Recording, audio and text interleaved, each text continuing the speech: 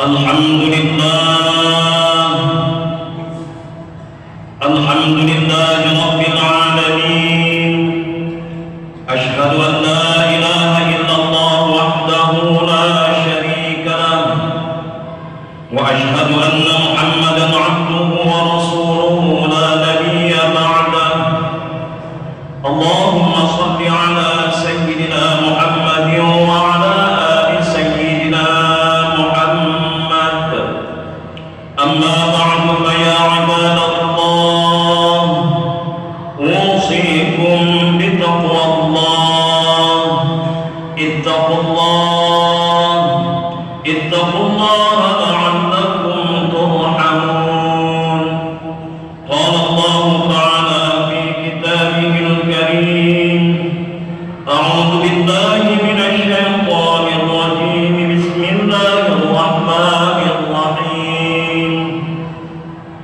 يا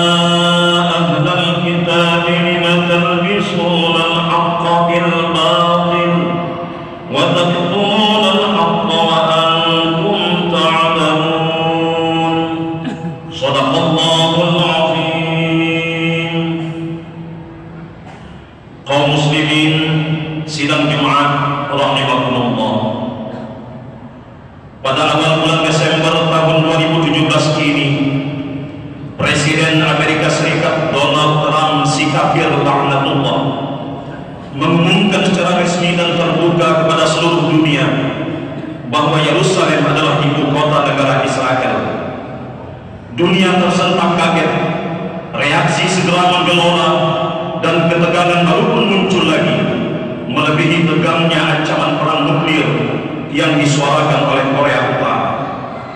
Dan Alhamdulillah pada tanggal 7 Desember 2017 Presiden Republik Indonesia mengeluarkan pernyataan tegas mengecam keras pengakuan sepihak itu karena telah melanggar berbagai resolusi Dewan Keamanan Perserikatan Bangsa-Bangsa dan bisa mengancam stabilitas keamanan dunia.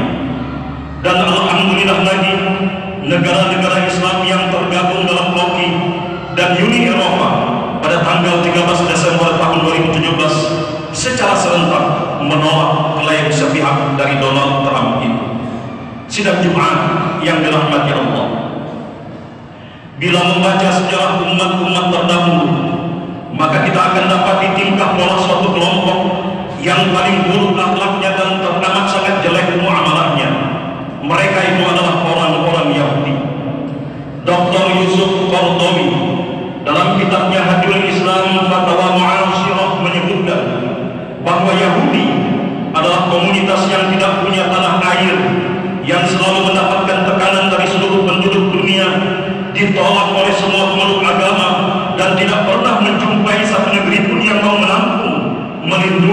dan membela mereka dalam beragama dan berbudaya kecuali Darul Islam dan kaum muslimin yang menganggap mereka sebagai ahlul kitab dan memberikan kepada mereka jaminan Allah dan Rasulnya serta jaminan keamanan dari seluruh umat Islam di dunia. Tetapi sekali Yahudi tetaplah Yahudi, madu yang telah diberikan oleh umat Islam, mereka balas dengan dan meminumkan racun kepada kaum muslimin dan muslimat, terutama yang berada di tanah suci ketiga umat Islam, negeri penghafal Al-Quran Palestina. Yahudi adalah komunitas yang berhati keras dan membabu sebagaimana Al-Baqarah 74 dan Al-Maidah ayat 13 berhati kasar, bengis, kejam, sombong, mengklaim bahwa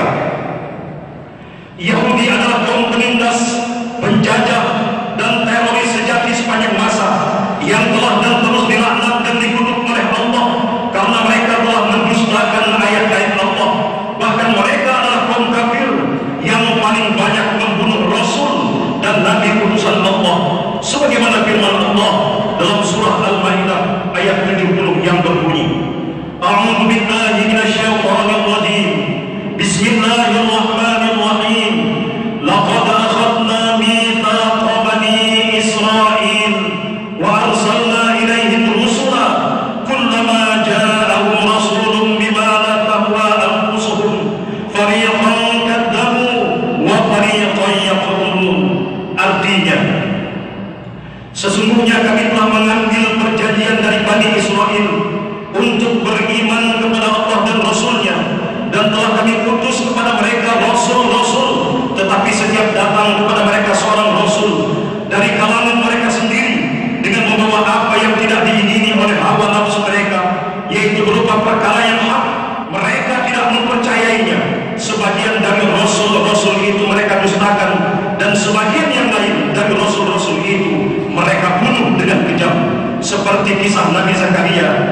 Abi Yahya terjemahan dari tafsir Jalalain Imam Jalaluddin As-Suyuti muslimin rahimakumullah.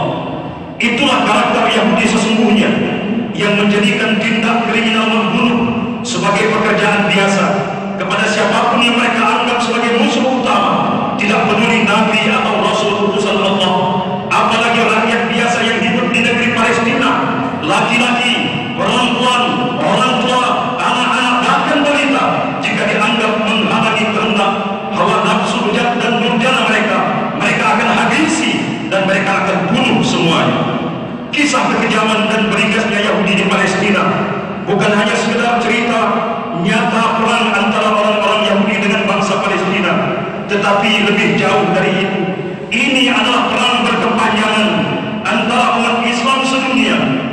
kaum Yahudi yang terkutuk.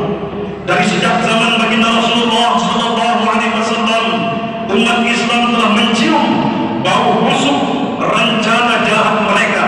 Mereka ingin menguasai Masjidil Aqsa secara utuh dan pada saatnya nanti masjid suci ketika umat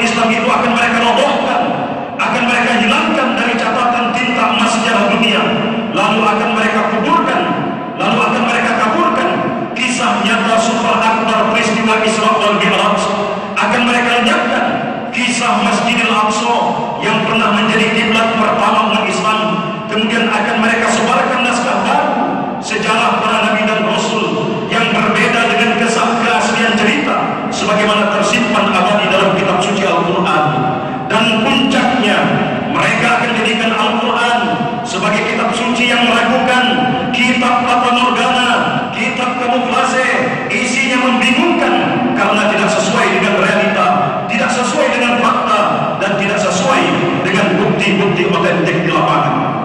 Itulah di antara agenda penyesatan yang sudah direncanakan oleh kaum Yahudi yang dilaknat oleh Allah Azza wa Jalla. Di dalam Al-Quran, surah Ali Imran ayat 69, Allah secara tegas menyatakan dalam firman-Nya, A'udzu billahi minasyaitonir rajim.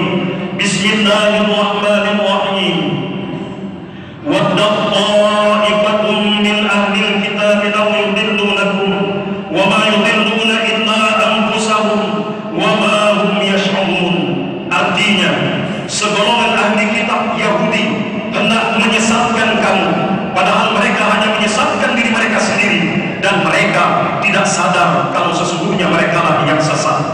sidang Jumat rahimakumullah.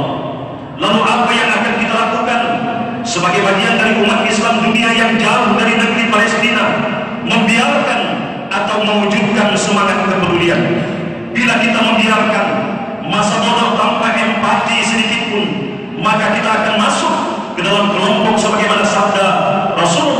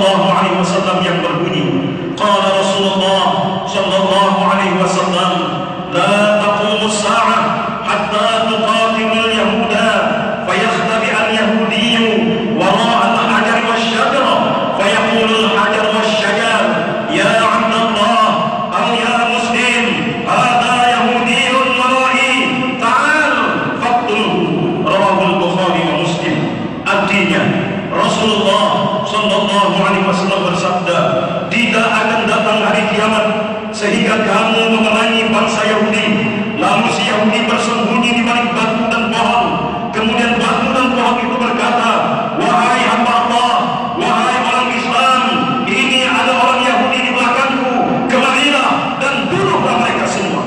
Hadis riwayat Imam Bukhari dan Imam Muslim. Semoga Allah menenangkan batin rakyat Palestina meluruskan niat mereka dalam jihad mempajakan iman mereka dalam penindasan serta menganugerahkan mereka kemerdekaan sejati dalam ridho Allah Subhanahu wa taala dan semoga Allah menghancur leburkan Yahudi beserta antek-anteknya dengan siksaan yang teramat sangat pedih amin Allahumma amin a'udzu billahi minasyaitonir rajim bismillahirrahmanirrahim ala